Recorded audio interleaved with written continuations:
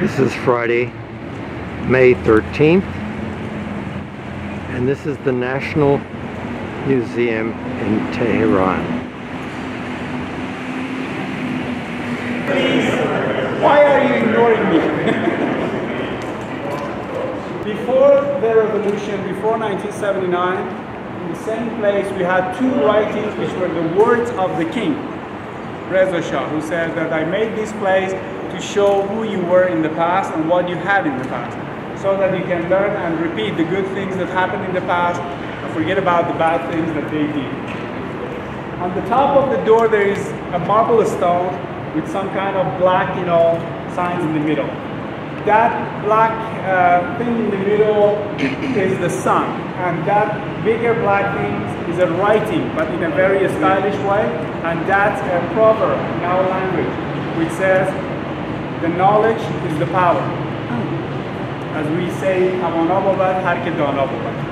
And then when we go inside, uh, we see things from the ancient Iran, prehistorical period, and historical period. The building itself looks like one of the ancient uh, palaces, very old, back to almost 2,000 years ago by the time of the Sassanid. This was the same style of the Sassanid palace in Tisfun, which was a city near the border of Iran and Iraq. It was almost destroyed during the war because it was on the Iraqi side and nothing left. But this was almost the same thing with a very big arch as you can see here. And when we go inside, first you have to check the security and then I will talk about our map and other stories. Please follow.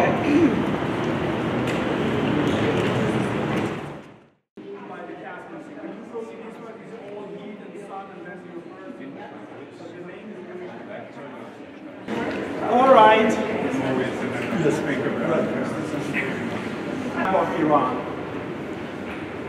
In the north, we have Turkmenistan, the Caspian Sea, Republic of Azerbaijan, and down here we also have Armenia. On the western side, we have Iraq. Over here, we have Kuwait. Down here, Saudi, Saudi Arabia, and then we have Qatar, Bahrain, and UAE, Oman, the Persian Gulf, and then we have the Oman Sea. Down there we have again the country of Oman. And then on the eastern side we have Pakistan, and then we have Afghanistan. These are the countries that we are bordering nowadays. In the middle of the country you see there are two big deserts, one here and one in this area. The hottest spots that I mentioned yesterday, 79 degrees Celsius, was somewhere around here which was measured by the satellites from NASA. Uh, Persian Gulf and Caspian Sea, back to thousands of years ago, were connected, and this land was totally under the water. Little by little, this water went down, and the Iranian plateau came out. Iran is also known as Persia. Before we go to uh, the historical part, let me explain about the word Iran and Persia. The word Persia is a Greek name. The Greek called Pars as Parsia or Persia or Persiski or Persia, which is the name that most of the people know from Iran. But the word Iran is a much older name referring to the whole land because the Pars was a big province, almost this area here, which the first empire, which, which was set by Cyrus the Great, who was from the Pars area, was known as Parsi or Persia. So the Greek in those days, they called, okay, this is the empire of the Persia, which actually was the biggest empire of all time. And then we have the name Iran, which goes much longer time before even the Pars existed. The word Iran comes from the Aryans. The Aryans were the group of people who moved down from the northern part of the current Iran country to the Iranian plateau and they were divided in different groups. Some stayed in the north and east, some stayed on the western side, some moved to the central and southern part and from these people, among these people, some moved to the south, east and moved to India. Again, from India there was a big movement through the country of Iran going to Europe. So they're all Aryans which the name of Iran comes from Aryans. Originally of Iran is Aryans, which little by little later it became to Illyrian into Iran. And from this movement, we also have Indo-European language as It's all about this movement of these people. We are talking about up to time of something about five to 6,000, 7,000 years ago. Then, this is like a prehistorical period of our history. The people who lived around the Caspian Sea in the north later were known as the Parthians, which is different from the Persians. The Parthians in the west are also known as partisans. The word partisans comes from the Parthians, which later we will get to their part. They were almost uh, first and second century BC. Then we have the Medians or the Medes who lived on the western side of Iran. And then we have the Achaemenids, which lived in the land of Pars. And Cyrus the Great comes from among the Achaemenids.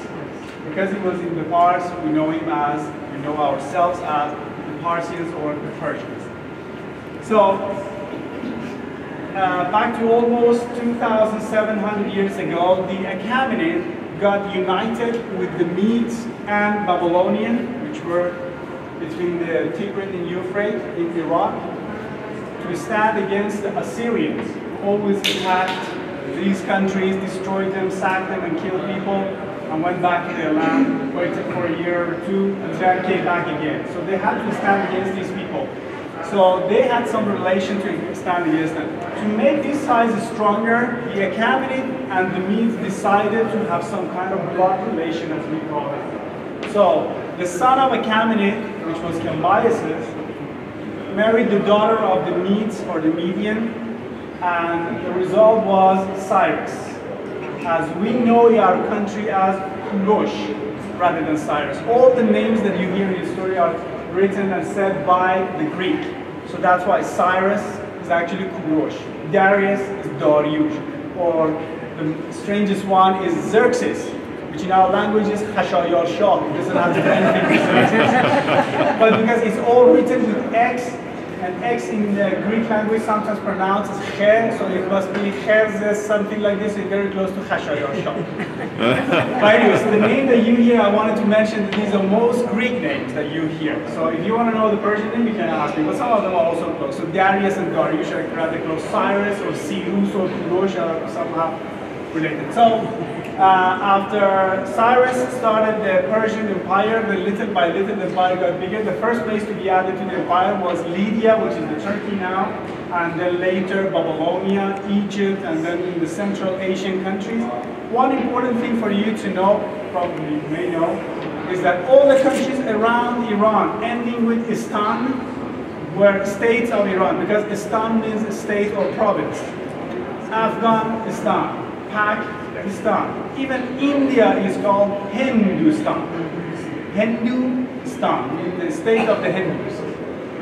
Uh, for example, Armenia, that's the name that we say nowadays, Armenia, but the old, I mean, the original name that we say is Armanistan, or state of the Armenians. And Georgia is an interesting one. You know it as Georgia, but that's, the actual name is Gorgistan. We call it Gorgistan. So these are the names that they were parts of the Persian Empire, Kyrgyzstan, Turkmenistan, Uzbekistan. In Uzbekistan, we, when we go to Uzbekistan or the Uzbek come here, they just simply talk to each other with no problem because they speak very few Persian language. Even in Afghanistan, they also speak the same language. Uh, after this, you know, empire got bigger and bigger, so which we know as the Persian Empire. Uh, then came the Seleucids. The Seleucids are the descendants of Alexander the Macedonian. Alexander defeated the last king of the Persians, known as Darius III, and then he conquered the four capitals of the Persians. The Persians had four capitals. Persepolis was the most important one, the spring capital, which was the ceremonial hall, and as the Greek call it, the richest city under the sun in those days was in near Shiraz. The other capital was Ecbatana on the western side near Hamadan, which was the capital city before the Persian Empire of the Medians. We had Babylonia, and then we had Susa. Susa was the capital uh, city of the Elamites. Uh, to get back sometime before even the Persian and the Medes, these big tribes of the Elamites lived on the south of west, southwest of Iran. This is the province of Khuzestan nowadays, which most of oil also comes from this area as well. These were very civilized people. They have like the history of four to 5,000 years ago. They created greatest things in the history in those days. For example, one of them was the water filter in those days. The arts of metallurgy was done by them. They could actually melt, you know, these different metals, mix them, make some alloy. That was why Iranian could defeat their enemies in those days easily because the type of the weapons they used, the swords and the spears they had were very strong because they were a mixture of different types of metals, which this is because of the people of Elamites. And later their capital city Susa became the winter capital of the Persian as well. Um, uh, as I mentioned that on the north we have the Caspian Sea. The, Cas uh, the reason why they, they call it Caspian is because there was a tribe called the Caspians who lived all this area. And that sea was known after them as the Caspian Sea, which is the biggest lake on earth. Uh, the countries which are around this Caspian Sea are Azerbaijan, Turkmenistan, Iran, Kyrgyzstan, and Russia. They're all around this huge uh, actually sea. Uh, one thing that everybody asks, because in Iran we have two states called as East Azerbaijan and West Azerbaijan. What is the relation between the Republic of Azerbaijan? Uh, during late 19th and early 20th century, one of the ambassadors of the Russians was killed in the city of Tabriz, and the Russian attacked our country. They occupied Azerbaijan, Armenia, Georgia, and Abkhazia. These are all parts of Alban. And they were just coming all the way down, which the Iranian king asked them to stop and said, we can pay for the death of this ambassador. His name was Gribailov, if you have heard his name already. He was one of the people who was against the Russian uh, central government, the Tsar in those days. And they wanted him to be out of the Russia, so they sent him to Iran. And it is said that he was set up by the Russian to kill him and then blame the Iranians so that all the Russian troops can come to the Iranian land. So they occupied Azerbaijan, Armenia, and Georgia. So when they stopped the war, they had a contract that they keep these lands for 100 years. But before that 100 years was over, USSR was gone. So all these countries became independent. That's now we have the country of Azerbaijan, while we have East and West Azerbaijan in Iran make it a little bit short, not to make you standing long here. We can go to other parts.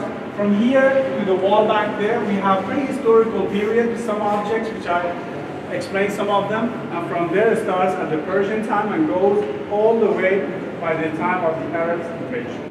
Okay, this way please. Test multiple choice or yes Wow.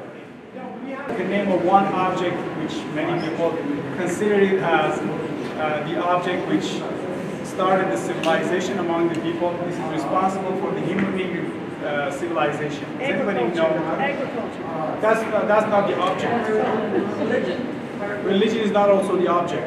You can use it as an object, but it's not. No, not writing. The wheel, no. No. The plow which is related to agriculture. When people started using the plow and then studying agriculture, one person worked and five were free to think and to create things. So art came out of this plow. He was working, and they were thinking, okay, let me paint something, create something. So they started actually making pots. And then they started to do some paintings, and then later carvings. So the first, the early types of pots, which later we see on the second floor, that's uh, ancient time, like 5,000 years ago. These objects are almost from 3,000 years ago, but up there, second floor, we have objects from 5,000 and beyond. Uh, the first type of you know, potteries were rather thick, big, and heavy, and they were all sun-dried under the sun. But later they learned how to make them smaller, thinner, and then heat them, them into the kilns, furnaces, and kill them, uh, heat them and create stronger but smaller one for uh, usable at home. So we have many objects and you know that in every part of the world you go there are some type of animals or plants or something which are the symbol of the countries or the People like them very much.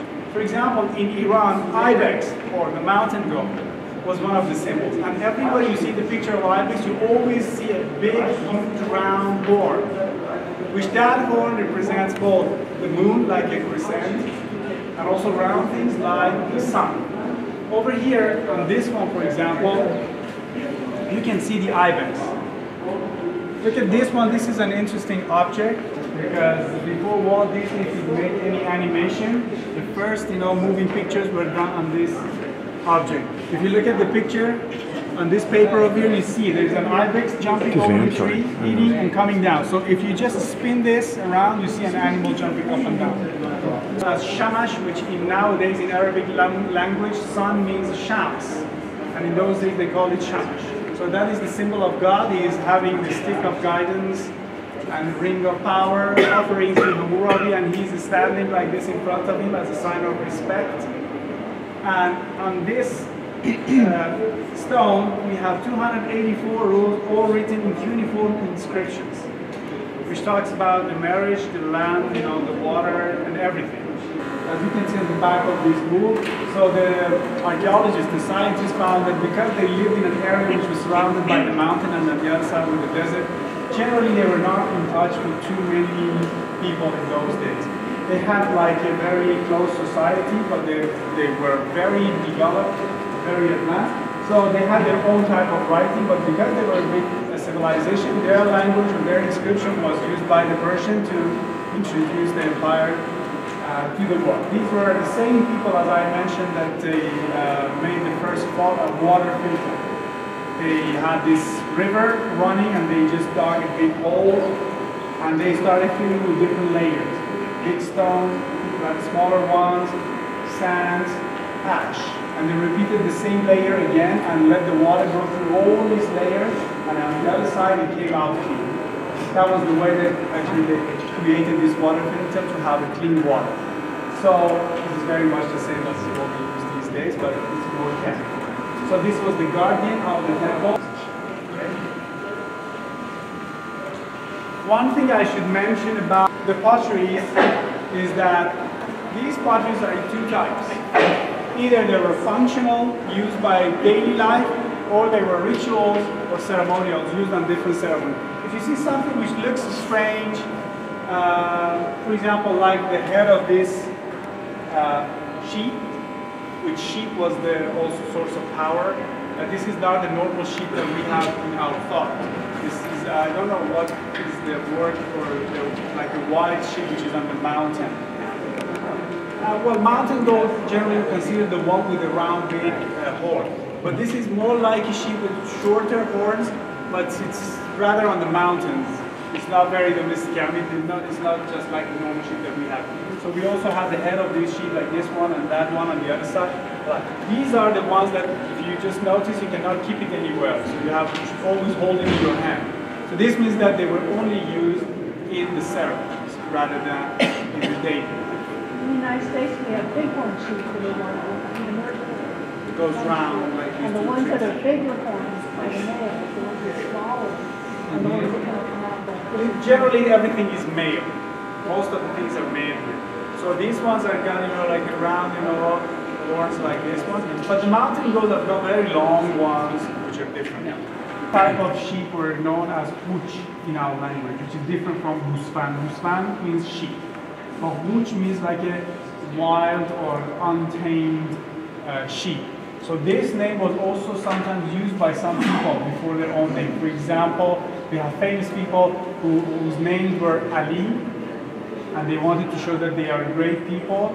They were known as Uch Ali, which many people sometimes look, might look uh, nowadays may look very funny to have the name of sheep before one name, but because that name had you know like um, very prestigious for someone have to have the name of this man. He was a great man, like a commander. They had it, so that's why you see the head of the sheep everywhere. And uh, if you go to British uh, British Museum in London, you can also see the same things in gold from Persia, all made out of gold. There's one object here in the middle. You can see this is one of the very strange things in this museum. If you look at this pot here, it's got a small handle and a long tip. And generally you should have an opening on the top to fill the water. But if you look at the mirror down there, you see the hole is in the bottom. But the thing is that they kept liquids inside. But the question is how could they fill this pot? Can you guess? Okay, cork, you use the cork after you fill it. How do you fill it? Turn it over. How do you fill it? If you turn it over, there is a tip and the water comes down. You look at it? It's got two openings, one on top, one in the bottom. So whatever you do in one way, the water comes out. Submerge it, Huh? submerge it entirely? Well, that would be one way. but they had a better way. Sounds like an ethnic joke. wow, this is a very strange object because it looks really strange. There's the bottom. Well, the story is that inside, you know, from this hole in the bottom, comes a tube to the top, and then they actually steamed the water, and the steam went inside, and went around, and stayed around this tube. For your information, when you get out of the museum, the main door, on the left side, uh, put a replica of that that is called, cut it from the middle so you can see the interior. Take a look at this. This is a very strange one. Many, uh, many of these archaeologists believe that probably the one who made this spot was just trying to entertain a king or to show how clever he is or to surprise someone that, okay, I made this now, can you use it? So that's why this object Gave is... them distilled water. Yes. Why it looks like that? Iranian almost from 3,200 years ago were the followers of the religion called Zoroastrianism, which in Yazd we will see the fire temples and we get more information about Zoroastrianism. In Zoroastrianism, four elements of the universe are holy and sacred and clean. We should always take care of them. One is the soil or the land, the water, the fire, and the wind or the air to make sure that someone who dies doesn't pollute the earth, they put the bodies in coffins like that, they covered it with tar. See, we have food from almost those days. and then they just bury it down there and they put a cover, like a uh, top on it, and then they totally covered it under the. So many of you, you know that the Zoroastrian also exposed the bodies to the birds as well. That was one option. To the birds, yes. To eat the body, the flesh, yeah. That's something which is not even practiced in Tibet and in some parts of India as well. But the Parsis, yeah. The Parsis actually are the Persians who moved to India after the Arabs invasion. But actually their idea got mixed with a lot of, you know, strange things. I know there isn't like a book to have all the objects. They may have some introduction. I will check the space. Okay. No horses. I mean, the cows, the sheep, the ibex, but horses, no. You have a chair and a wheel? Yeah, we have a wheel as well. Maybe in old times, when a king conquered land, defeated an enemy, and get some part of land, they generally left some signs, like writing, carving. This is one of them, as you can see in the back of this, the old beautiful writing. And then on the other side, you can see the picture of the king. As mentioned here is the Saragan. Stones like this uh, were actually put everywhere when one king attacked another country and conquered some land and set some rules by himself. Uh, this piece of stone was brought from Persepolis to this museum. As you can see, it's very well preserved. The faces are very clear and all the details are visible. Uh, there is a story behind this, why this is so well preserved. First, I will introduce the people in the picture. From the right side, we have two soldiers. Then we have the commander-in-chief of the army, the general. There are two incense burners in front of me. And right here, there's the king, sitting on his throne with his guidance stick and a lotus flower in his hand, which was the symbol of the Persian king. Because the lotus flower or the water lily, which somehow very close to each other, they grow in the water. And in Iran, from thousands of years ago, water was the one that decided lots of things in this country. People fought over the lands because of the water, not necessarily the land, because water gave life to them. So uh, the, the lotus flower actually grows in the water, so it's very important. So this king always used it as a symbol of the king. Right behind the king is his son, the prince. He's also holding a lotus flower, but he has his right hand like this as a sign of respect to his father. Before the prince, there is a man whose hand is over the other hand, the right hand over the left hand. He is the priest, he is the religious man. And behind him, there is another person who's carrying something like a stick, or we really don't know what that thing is. It's a dagger or a sword, but just one of the things uh, belonging to the king. And are two more soldiers over there. But what happened that this piece of stone naturally should be totally destroyed or broken because of the fire that the Macedonian and the Alexandrian soldier made in Persepolis. The story is that the priest and the general they killed the king and they went to the other son of the king who's not in the picture, the younger one. And they told him that your brother killed your father to become the next king. Immediately the brother gathers all the army, arrests the brother, and kills him because he was the murderer of the king. So when the time goes by a year or two later, he finds out that it wasn't his brother who killed the father. It was these two people. So he arrests these two and kills these two, punishes them. So this piece of stone was right at the entrance gate of Persepolis, and it was at the reception hall where people came to see the king to say, Happy New Year, dead kings, whatever, the all dead people in this picture.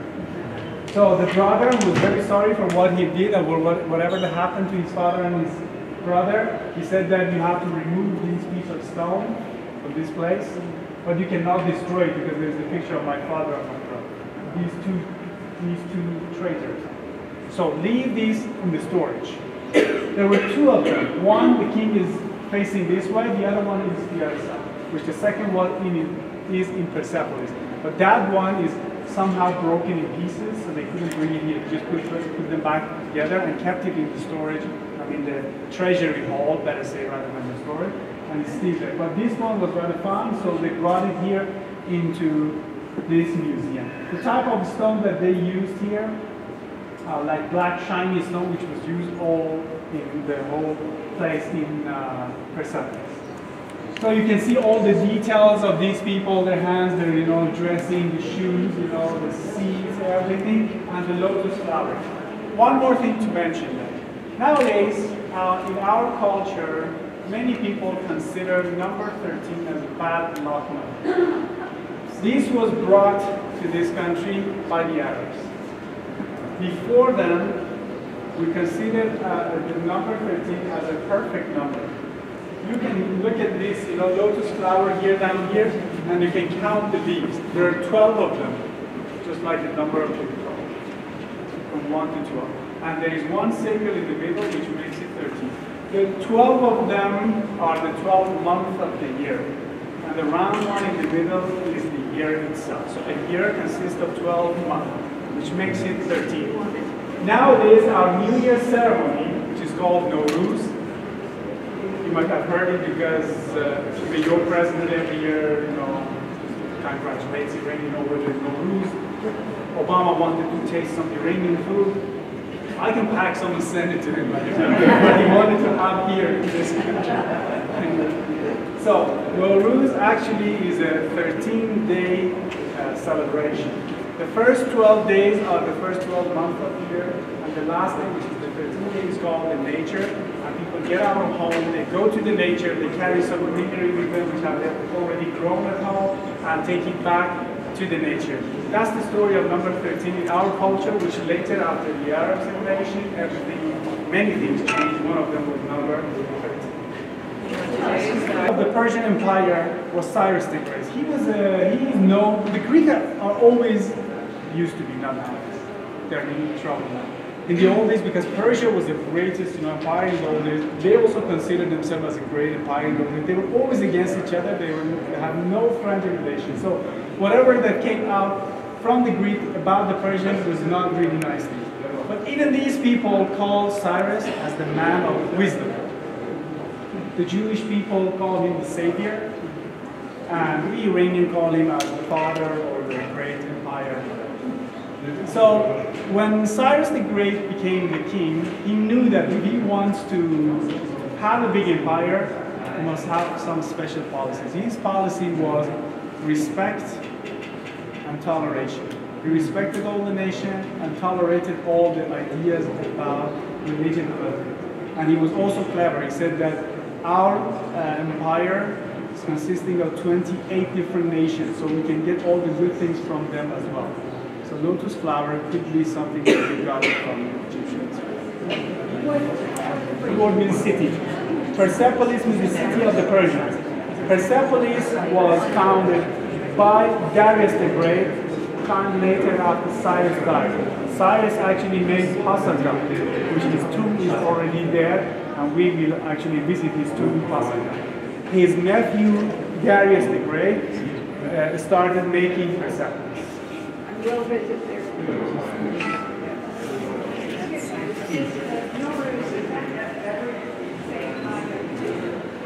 Every year, uh, 21st of March is the Iranian New Year. Our calendar is a very precise calendar. We have the day, the hour, the minute, and the second where the sun gets back to its position as it was last year. So our New Year can be early in the morning, in the afternoon, midnight, every time, because it's all calculated by the minutes and seconds. It's not like 12 o'clock is the Year, no. So it generally happens yeah, 20th or 21st of March according to the leap year of the North. Part of the uh, Persian Empire. We call it, in English we call it Persian Empire, but in Farsi we call it Achaemenid Empire. Farsi was the name of the man, and Achaemenid was the name of the people. So we call it the Achaemenid Empire. We can see it starts from western China, Pakistan, you can all see uh, all these countries going to Armenia, Cappadocia, Libya, Ionia, up to Athens, and then we have here Egypt and Libya, which later some part were also Athens, Babylonia, everybody. Um, the Silk Road, Road actually started from the northeast, coming to the northern parts. Later it came down to India, and from southeast to the central part, going to Turkey, and from Turkey to Europe. That part is a brick uh, wall. You can see the lotus flower here. Going to the, they always call Persepolis as the richest city under the sun. Uh, for two reasons. First, because of the beauty and you know grandeur, the greatness of this building, which later you go, when we go to the Persepolis, you can see some part of that uh, greatness in the back. Second thing is because of all the money and gold and things which were collected taking all the fire over there. So Alexander knew where to go first. He knew that the heart of the Persian Empire is Persepolis. Not only they're all there, but also all the money is there. So he went there, and finally they burned the whole. On the top, that's the symbol of the Zoroastrians. In the middle, we have a circle which generally represents uh, the universe. Naturally, everywhere you go, you see one figure, a human figure in the middle, which is an old man with a long beard. He's got a single power in his left hand, he's got his right hand upward as a sign of respect, always in the middle. This, some handicrafts you may see that this man generally is standing like me in the middle of that one. Actually left arm is visible, but in some pictures you may see it on the other side, like this. But it's important that he's got the ring in his left hand and his right hand is up. This is the statue, as you can see the man excavating it in that part. This is the original site. It was found in Susa. This is the statue of Darius the Great. Darius the Great was the one who continued the way of Cambyses II, which was the son of Cyrus, and conquered Egypt. And because when he entered Egypt, he ordered that children, women, old people should not be hurt and killed, and soldiers who surrender and put their weapons down should not be uh, actually harmed. The people, uh, after he conquered Egypt, they carved this statue of him standing with the lotus flower in his hand, which is gone now, with a small dagger and a stick, which is on the other side, on the right hand, and send it from Egypt to Susa. which was one of the capitals of the Persians. It is said that this statue existed perfectly in its position during the time of uh, the Macedonian, I mean Alexander the Great. And Alexander he said the head was actually cut by them because they didn't like him and they want to say we are superior than him. So they actually broke it. As you can see, even the original it doesn't have any head.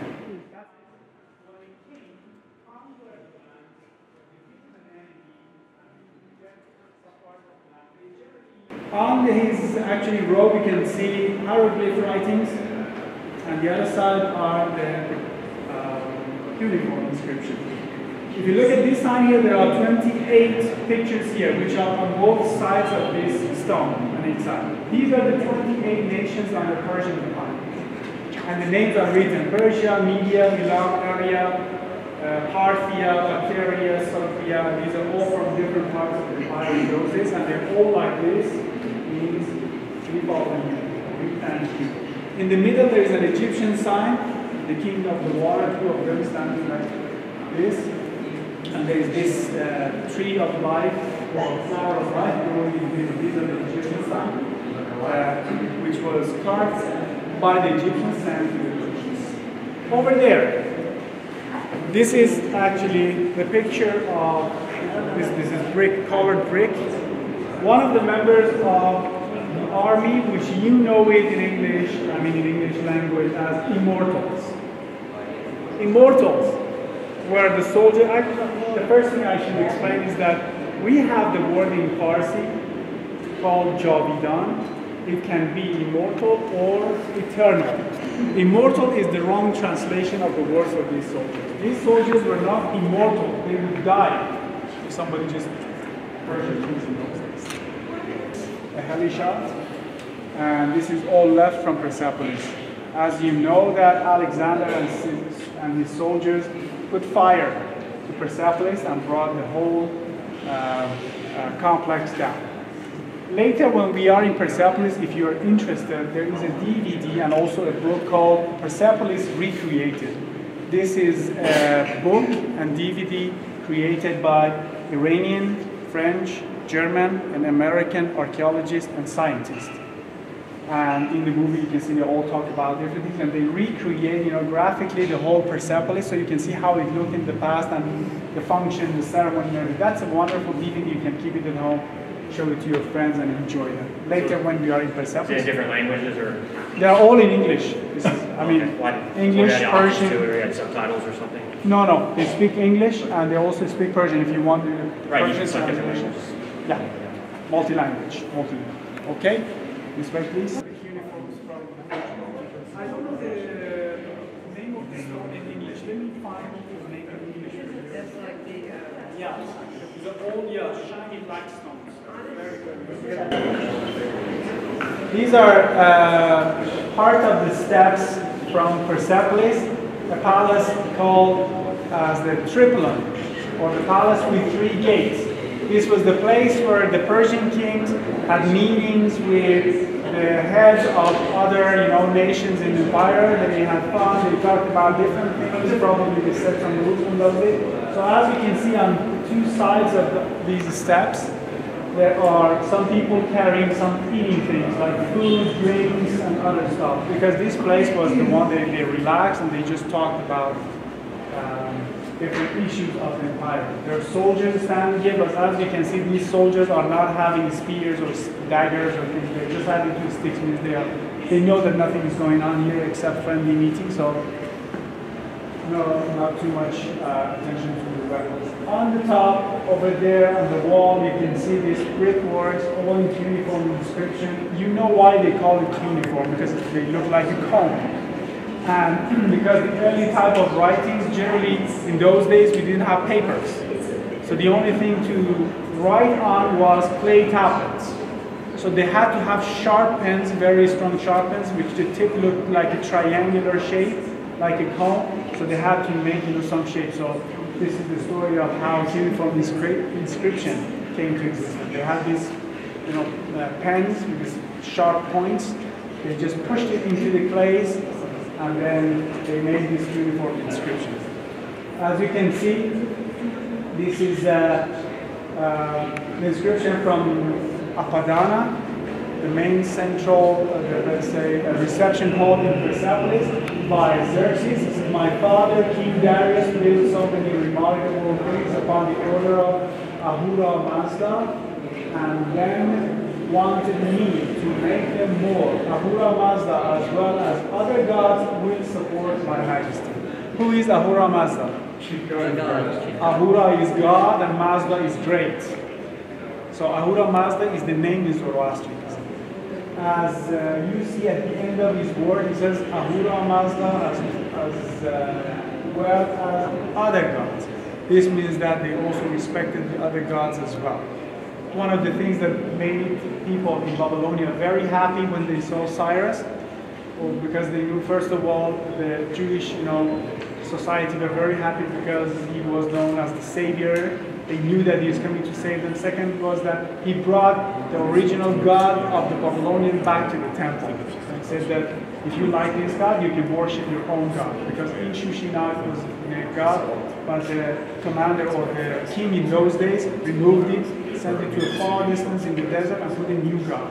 They didn't like it. Sometimes some figures of human being having an animal like a lion in their hands, this is only showing the power of a king. As you can see, generally if you just hug a lion or hold a lion, the lion never turns his back like this as if they're taking a picture. This only means that this man has got the lion and all his power in his hand, and the lion is not objecting to this. Otherwise, he could have, you know, uh, bitten the man. He's just telling his friend, okay, you are the king. This is only the symbol of a man, very much like a lion, but this is actually a dog. And uh, this is made out of, out of a, a very shiny black stone. As you can see, there's a ring around the neck. But two reasons why this is a dog, not a lion. Generally, a lion's, you know, male organ is inside the body, but a dog's is outside. If you can see, it's out. Second thing is that lions always have their tails upward or hanging back there. They don't have it between the legs. So you can see the tail is just between the legs and this dog is relaxing. And you can see the ring that shows that this dog is tamed. Though it looks like a tiger or a lion, it's a dog. You can see where they have found these statues here. And over here, over here we have Charles, oh sorry, we have this column.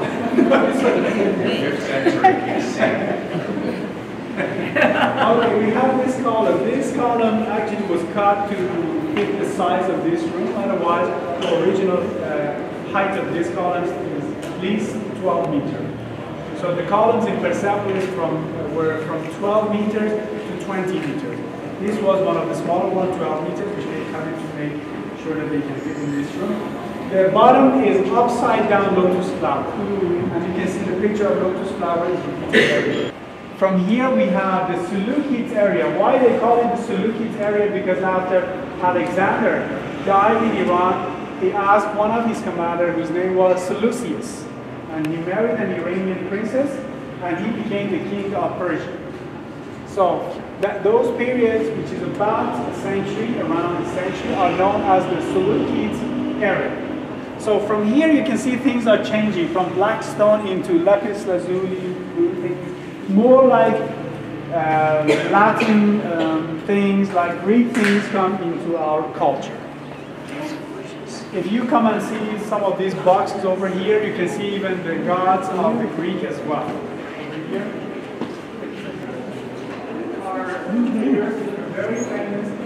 Alexander conquered Persia and came to Persepolis. Immediately, he rushed to Pasargadae he wanted to pay respect to Cyrus the Great because he always believed that a true king should behave like Cyrus. He didn't care about Darius, who was a great king, who came after him, or Xerxes, who was a really, really great one. He says that Cyrus is the man that we should always remember, we should respect. And according to some book, uh, when he was in Pasargadae, paying you know, some respect to Cyrus staying there for a few days. This was the same time that his soldiers and the ladies in the group put fire in Persepolis and brought it down. because he said that you shouldn't do that. But because Xerxes actually burned Athens, the soldiers said we have to revenge. So they started actually, the fire started at the palace of Xerxes, which in Persepolis, there's nothing left from that palace. So the fire started there, and from there they couldn't control it. They went all over the whole complex and destroyed Persepolis. It was the time that they had to control the country rather than creating something, making palaces, whatever. 100 people, because people were against them. Iranians are strange. They do not accept any foreign things in their life. Everything must be original. So they said you are now with us, so we want. So they tried to control everyone. So they didn't have time to make palaces or great things. So that's why we had a very short part of the Seleucids. But after the Seleucids, one big group of um, the nation in the north of Iran, known as the Parthians, different from Persians, they revolted against the Seleucids. And they said that we are Persian, not you. So they just kicked them out of the country. And from that time on, the Parthians became the ruler and the emperors of Persia, which they also stayed for almost 400 years, almost four centuries. Here, there is a statue of one of the Parthian prince. You can see the faces are different from uh, the Achaemenid, from Cyrus and his children. They had rather long beard, uh, kind of nose, which was a little bit like, you know, bump over here. But they were coming from the north. My nose is like them because I'm coming from the north. They're coming from the same place, more or less, where I was born. so, uh, they're different. They had like a long mustache little beard here. They were great horse riders and great fighters as well. And they had a special, unsystematic way of fighting that confused all the enemies. From them came the word partisans.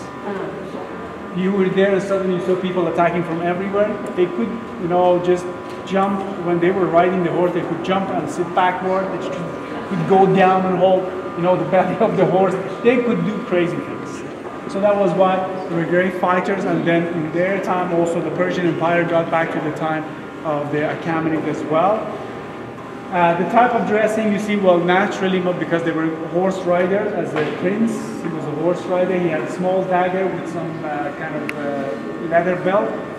If you look at the back over here, you can see his pants has got special part, like a little cushion, so that he could feel comfortable on the horse as well. You can see it over here in the back.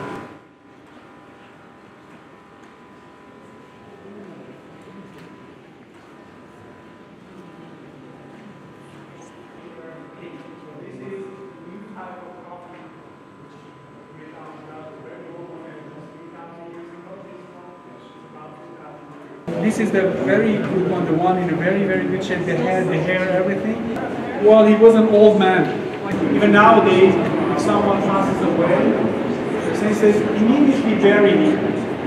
Immediately bury him because they say that when a body dies, the spirit you know, goes away, flies, uh, I don't know, goes to heaven, but the body is very impatient to get back to its origin. They did the same thing to my uncle, but they were very stupid to do so because my uncle had heart stroke a few times before and he came back to life two, three minutes later. But this time when he had a heart stroke, immediately just less than two or three hours they buried him.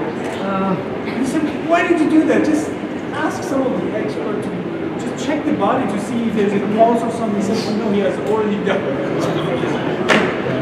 group of people from the same area where the Achaemenid, the first Persian as we know, the Achaemenids, came to power and believed and claimed that we are the real descendants of Cyrus the Great. We are the real Achaemenid and the Persians.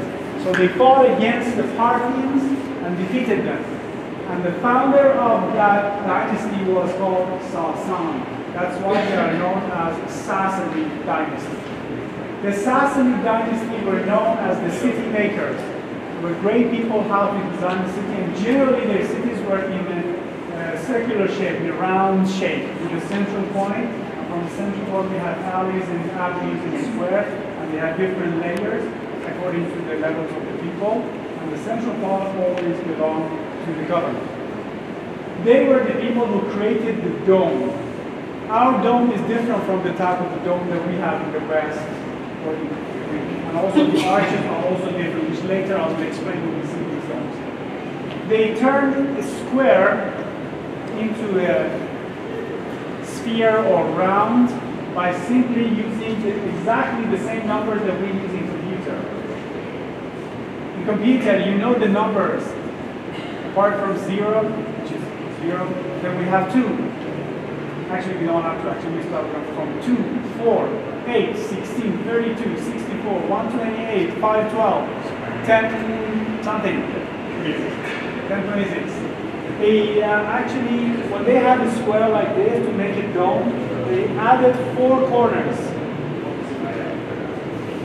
And then they had eight angles.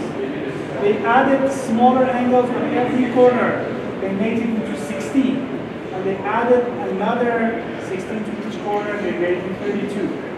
And when it went to the 32, it made almost like a round part.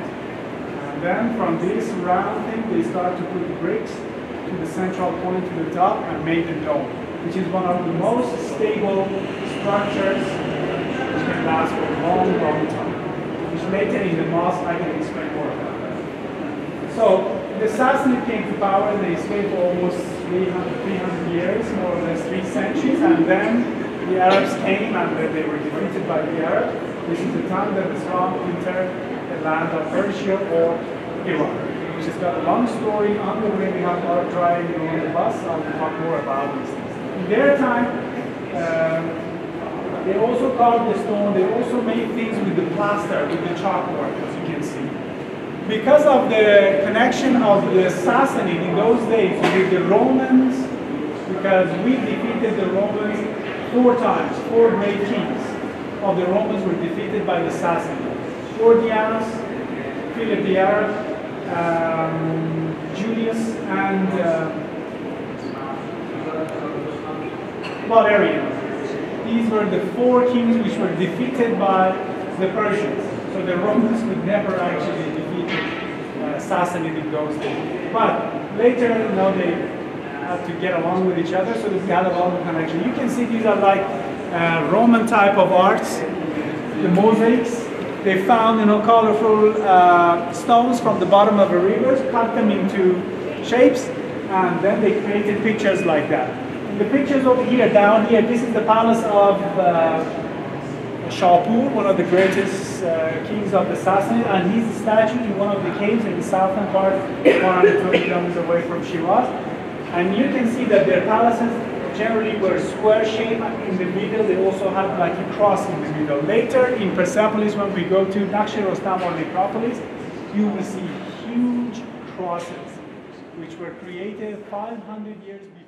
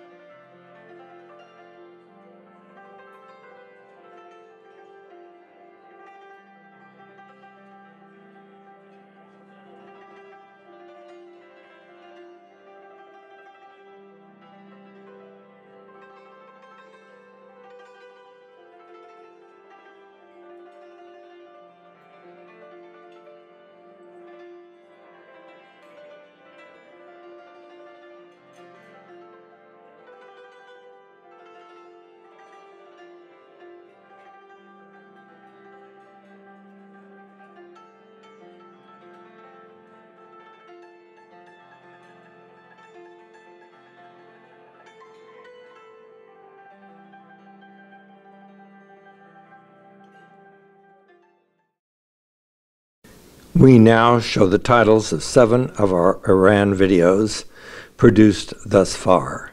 At the top of the screen is the URL for our Conscience Films YouTube site, where they can be seen. These videos were produced from over 15 hours of high definition video and over 4,000 digital pictures we captured during our two weeks in Iran in May of 2016 using a Canon XA25 professional video camera and Nikon D750 digital camera with Nikon AFS 24 to 70 millimeter 1 to 2.8 lens. In closing, we just want to emphasize that if anyone has the opportunity to visit Iran, they should by all means take full advantage of it. The country is remarkable in terms of its very old and extensive history. The many archaeological sites are quite fascinating. There are, in fact, some 20 World Heritage sites. The people are very welcoming. They like Americans, they like tourists. They're particularly fond of Americans.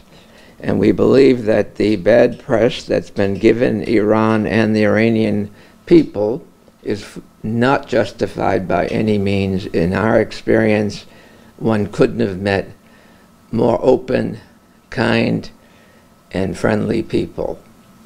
Now, we want to thank our guide, who is exceptional in many, many ways, Afshin Pasha. He did a fantastic job of keeping a very large group under control and made sure that we did not go astray in the heavy traffic. And the Nation magazine, which many will know is the oldest continuously published weekly magazine in the United States, they have a travel division now that they call Nation Travels that has been doing some exceptional trips. And it's because of their ability to harness the energies of such excellent guides like Afshin Pasha that it makes the, all the difference.